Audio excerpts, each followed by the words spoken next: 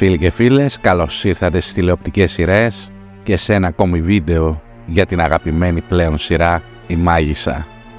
Όπως θα παρακολουθήσουμε στα νέα επεισόδια, ο Μάρκος μαθαίνει τον πραγματικό λόγο που η Δαμιανή έδιωξε την Αναστασία από τον πύργο και καταρακώνεται στο άκουσμα.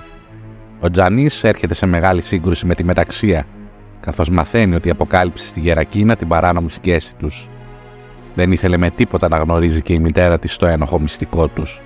Στο μεταξύ η Θεοφανό εκμυστηρεύεται στη Σιμώνη αυτό που της συμβαίνει και εκείνη της προτείνει ένα σχέδιο για να κάνει το χάρισμά της σύμμαχό της. Ο Μάρκος παίρνει μια απόφαση που θα συγκλονίσει την Αναστασία.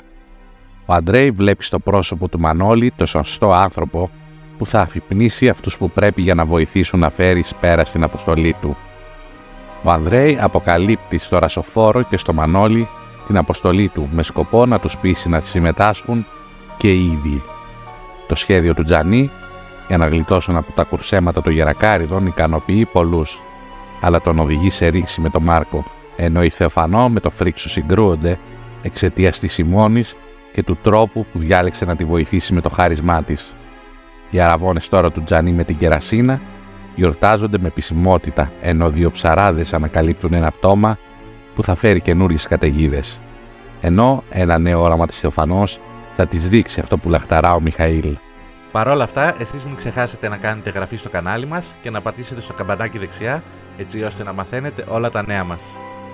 Αυτά για τώρα, τα λέμε στο επόμενο βίντεο. Γεια σας!